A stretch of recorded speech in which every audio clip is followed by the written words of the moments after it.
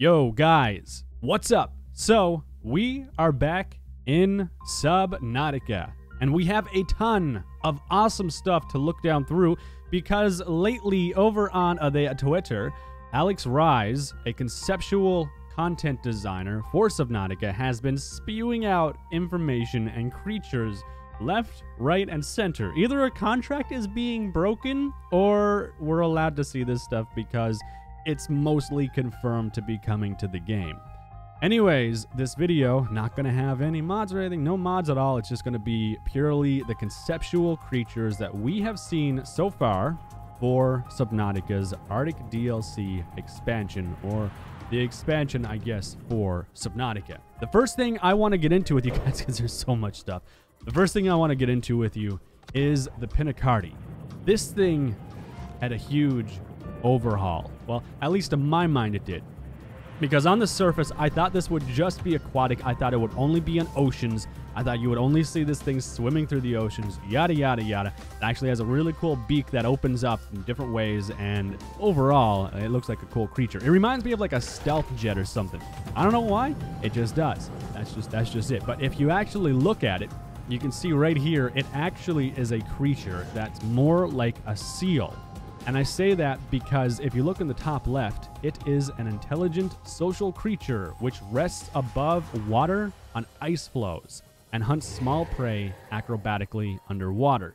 This thing is basically an alien seal. This thing is an alien seal, and there is nothing anyone can tell me or say to me that makes me think any differently of this creature. And it is actually really adorable. I love how they've decided to go with this guy. If we look here, we can see all of the different color variants that this guy could have as well. You've got just deep undertones. You've got really rich, vibrant greens and stuff as a possibility. I don't know if all of these are potentially coming to the game or not. They might not have all of these color variants. But either way, I want to know what you guys like the most. Mine is probably the bottom left because it has those really nice blue undertones and stuff in it. I don't know. It's, it's, it's going to be that or the green one. One of the two. You guys let me know what you like most in the comment section of the video. Is it going to be concept C or B, D or A? And then we can move into the alien penguin variants, where we have seen B, I think. I think B and E are the ones we've actually gotten to see as the alien penguin. And then A, C, and D especially DNA. I, I'm sure we have not seen those yet. But these guys got their own skin touch-ups as well, and actually there were some changes to this guy, uh, believe it or not. This guy actually has different mandibles for different concepts within the creature. Now, what do I mean? Well, you guys remember this little guy right here. He had his face open up, you know, he looked all freaky and stuff. I think this one had the baby too, or maybe it was the other one. Anyways, you move into another one and you've got this guy with like the hooks instead of the, I guess, mouthful of teeth, which I don't even know what one they're going to go with. I don't know if it's going to be teeth or the face pincers. Either way, each, each would be terrifying to see underwater first off. We're not sure what one they're going to go with, and we don't know if these all these alien penguins here have different mouth types depending on their color. That'd be really cool. It'd be a lot of work for the devs to put in, but I mean, it would still be kind of cool to see that stuff. But either way, something that you guys have not seen or probably aren't aware of is the actual alien penguin. Now, this thing, I don't even know what to think of it, to be honest. It looks like a peeper fell in some toxic waste or something. That's what it looks like to me. It has two eyes, one on either side, faces one towards the player or enemies. It has twitching antenna and it has a glowing egg chamber which retracts on land. As you can see, it's standing and then it's swimming through the water and you can see the, the pink bulge or whatever. It's kind of weird. Dorsal and ventral fins provide propulsion, swims sideways relative to position on land. So more or less, it's it's like a fish hybrid. I wouldn't want to mess with this thing, and you can see right on its mouth these two black mandibles or something here. I'm willing to bet if this thing opens its mouth, it's just absolutely terrifying, like the other alien penguins we have also seen. This thing probably opens its mouth and like more teeth are there, and it's just there to give you a bad time. It looked kind of cute and harmless, kind of almost like a, a jellyfish type of look. But then uh, yeah, I don't. I think the trade-off of that soft-looking skin is gonna be it's a glass cannon. That might be. That's just my thought on it. So over here on the Wikipedia page, we actually have a bunch of information on the alien penguin named to be determined. And obviously, the creature has a feather covered body, white on the crest and light blue on the back. This is only for this guy right here, by the way, obviously, for, for this creature right here with the concept for the baby and then how it opens its mouth and closes its eye and stuff like that during an attack. Like many creatures on 4546B, it has two pairs of eyes, yellow in color, with black pupils. Though unlike other creatures, the eyes face different directions. One pair is front mounted and the other pair is side mounted. That's actually kind of weird. Hang on. Oh, I see it. Oh, I've never noticed those were eyes. Oh, I feel so dumb. How did I not know those were eyes? About one third of the creature's height is made up of a huge beak atop its head. This beak opens horizontally rather than vertically, and rows of long black spines lie within. The beak is mostly black with a band of green and blue around halfway up. At the base of the beak on either side is a small respiratory orifice. There's actually one right here I haven't seen online yet, which was kind of cool. Uh, this goes into like the actual, I guess, autonomy and how this thing actually functions as a creature. And you can see the foot details right here, retractable ice gripping claws, which is very important. They're obviously down right here in this section. Then you have the foot pads and the claw sheath retracted in swimming mode. So that's like, that's really cool stuff right here. We can see how this thing actually works. There's a tail apparently that retracts on land and extends when swimming. I would assume this is to help with some kind of propulsion means or steering and stuff like that. And then you have a front uh, and rear view of the uh, feet. Um, overall, I love how they constructed this creature, and I love how they have practical ap- application in mind and how these things would move. It seems like these creatures also have a lot more moving parts, I guess, if that makes sense. They have a lot more personality and a lot more animation, uh, I guess, options than the other creatures in Subnautica.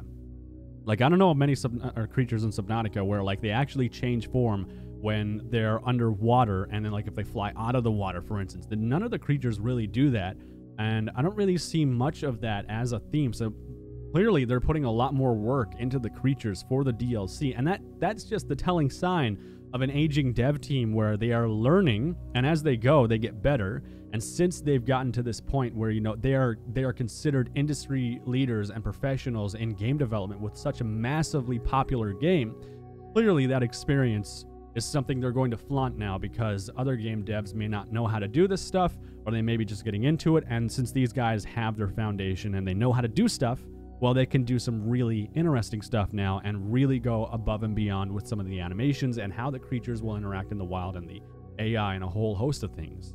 Let me know what you think down below in the comments section about the alien penguin and all the new stuff on it. But now we move into the brute shark. And I just want to throw this in here there is a new quote unquote Titan class fish that I'll be moving into in just a moment. So, what is the brute shark? The brute shark is a medium sized predatory species that takes design inspiration from rays, tigerfish, and sharks.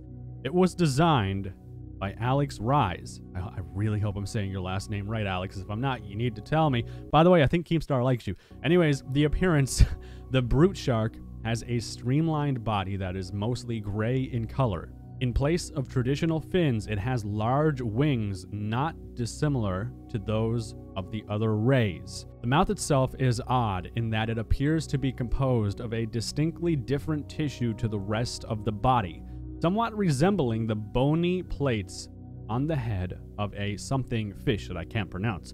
The mouth has many sharp teeth, seven pairs on the upper mandible and six pairs on the lower, the body is adorned in some areas with bright yellow bands of color on the snout, behind each wing, and behind each of the eyes. It has a small dorsal fin and pelvic fin, but lacks a tail entirely. And this creature, obviously, I, it, it's I'm willing to bet this thing's going to be around the size of the bone shark or the stalker. Maybe this is the replacement for the stalker. Like, the question for me is like, if these kinds of creatures can exist and they aren't in the normal Subnautica world that we have right now, and these DLC creatures come in. Who's to say there can't be another location on Subnautica where there's entirely different creatures? Like, you, there's a lot to take in with this, and I don't think we've actually seen a, a Leviathan class creature per se yet. So the next thing I'm going to get into is this guy right here, the Titan Holefish. Now, there's nothing impressive with this thing right now. Is that this is actually a really small creature in comparison to the other creature it shares a relationship with. The creature that it shares a relationship with is actually the Titan holefish. So these guys actually share a relationship with the Titan holefish, and the Titan holefish has formed a symbiosis with a small aggressive fish species. Their semi parasitic eggs are laid in a mass in the hole, extracting some nutrition and staying oxygenated. In exchange, the small fish mob any predators and nip off parasites. Now, we actually have even more information about this holefish over on the wiki, but it's confirmed that it is actually related to the holefish we currently have in Subnautica. This is, I guess you would call this a Titan class creature because of the fact that, you know, it's it's gigantic compared to its relative. And then the appearance, obviously, and we have this weird image right here. I, I don't I don't see why that's there. It's a small section of the creature's model. I don't think they've started modeling these creatures yet. I would be surprised if they did.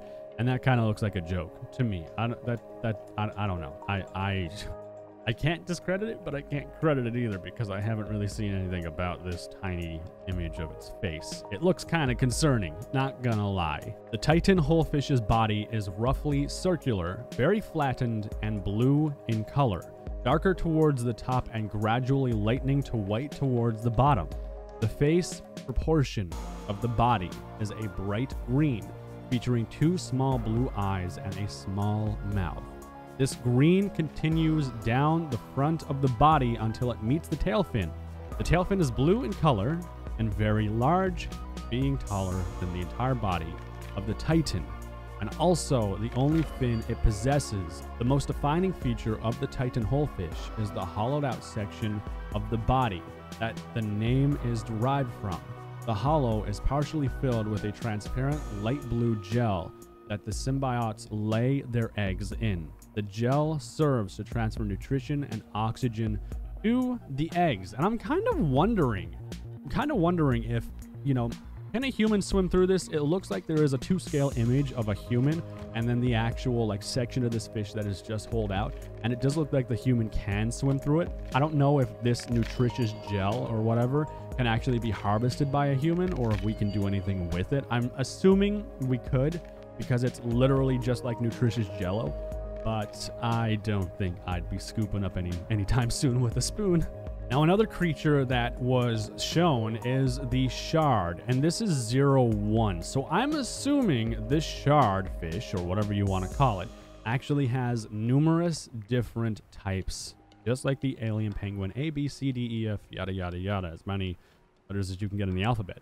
Now, Shard 01, the information is basically this creature travels slowly through the water vertically like a knife luring prey in with its glowing Esca from the seafloor. I, I assume this is the Esca, the, the, the actual like thing at the end of its face. It reminds me of an anglerfish actually. I like that a lot. When attacked, it quickly extrudes hypersaline slime cooled through bio mechan- what biochemical means this rapidly forms an ice shell around its body from which it suddenly swims free leaving the predator to attack its false ice shadow while it escapes. It's actually really smart. It effectively clones itself in a way and then takes off. Like, that's actually, I like that. But at the same time, that's some really wonky, like, that I don't. Can you imagine if a fish could do that in real life? How how crazy that would that's that's weird. I like that concept a lot though. That's actually really cool. You guys let me know what you think about that down below in the comments section. That's super that's super smart. Like that's that's someone someone hit something that day and they came up with a crazy creature. I don't know who it is on the Subnautica dev team that got into the devil's lettuce, but someone did, and it's uh, I like what you did. Now we actually have an image here of the outside of a mega biome within the DLC. Now, what is this mega biome? Well, this mega biome actually has a wiki page that we can visit. It actually goes hand in hand with all of the other Arctic biome stuff we have right now. I don't know where this one would be located. I don't see any like spoilers or like anything fancy inside this image right now. We see a lot of ice. Uh, we can see this area is a little bit dark. There's some stuff under the water here from the reflection or whatever. Uh, it, it like overall, I assume this stuff would be harvestable to some degree so we could get something from it. And the protagonist here is obviously male. They have confirmed they're going to change this to female. I think I actually covered this in my last video as well. Uh, up right here, we see some uh, flying creatures too. It seems like flying creatures have been prevalent in this expansion and like in the teasers a lot more than ever before in Subnautica. And I'm kind of wondering if they're going to be showing us some kind of like it would make total sense. I think they're going to release something or they're going to reveal a new sky creature or sky based creature as well. That would make total sense because there's so many land based creatures right now. Why wouldn't they add a creature that would be in the sky flying around that could be somewhat of a threat? Because right now in Subnautica, we have a couple birds, nothing too fancy, have a couple birds, nothing too fancy, so on and so forth. So I think that's something the game is missing. I think they would be very smart to add something like that. As far as the Squid Shark goes, which was a fan favorite, we had one new conceptual art right here shown and teased the size of a diver compared to this thing. This thing is still really big. I remember, like, I assume this is going to be to scale. Uh, in the past, I assumed this thing was going to be a Leviathan class creature, and I don't know if this confirms it or not right here. But if this is the case, this thing is still smaller than a Reaper Leviathan but it's probably more terrifying than a Reaper Leviathan, seeing as it has these giant ass, uh, I guess like face mandibles that will suck you in and destroy you. But if this is to scale, well, then this thing isn't the size of a bone shark at all. It's it, it was actually assumed or said that it would be a small creature. And now it's looking to me, if this is a to scale representation, just like they did with the Holefish or Titan Holefish, that this could actually be to scale. And if that's the case, this thing could actually eat you alive in one bite, just like the Reaper. So take that into account. I don't know if you would I don't know if you'd classify it as a Leviathan class creature. I don't think you would because I don't think it's big enough. I think a Reaper Leviathan would have a field day with this thing personally. But I don't know, maybe we'll have to do that someday. Maybe we'll spawn a Reaper in and just see what happens. Now, there actually is some conceptual art out there that just didn't make the cut, which is kind of sad, and it's actually some really adorable stuff. So I want to start out with this little guy right here. So moving over to Alex Rye's official Twitter page, which I will leave in the comment section of this video or description. Go follow this guy. He does some really, really good artwork. I love this guy's concept art. Actually, there's an image somewhere down here that he had actually shared uh, that I need to debunk right now because people were like, "Oh my God, it's coming to Subnautica." No, it's not coming to Subnautica. I wish it was. I I really do wish it was because like the guy did such an amazing job with it, but it's not actually coming to the game. Maybe I'm nowhere near it. Uh, let me scroll back up. So this is the information on the pygmy crab squid, which will not be coming to the game as far as I know. A small polar relative of the crab squid, intelligent and small, it has bioelectric abilities like its deep water relative and is drawn to electric devices and batteries humans have brought to the planet. So, I mean, it's it's I don't know, like it's good and bad. I'm not big on the idea that something could be, you know, lurking in the shadows so you get out of your Seamoth, you know, and you're deep under the cold water and all of a sudden you, you look up and your lights go out and what the hell happened? And then you got to try and hunt this guy down. I like I don't agree with that to an extent, but I also think this thing could have added a lot of character to the creatures within Subnautica. Kind of wish they added it, but is too bad, I guess. It's it's whatever. Uh, this is another early design for one of the naughty little weirdos, which I don't know if this is coming to the game still or not. This might still be coming. Not sure. I have a feeling they want to have something that can mess with the player and take the battery charges and stuff.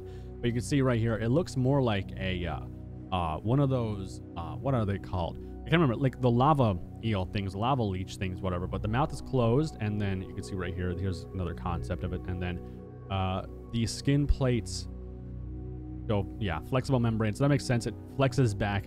These come out. These are still here. This is its mouth, obviously. And then on land, this creature moves by alternating.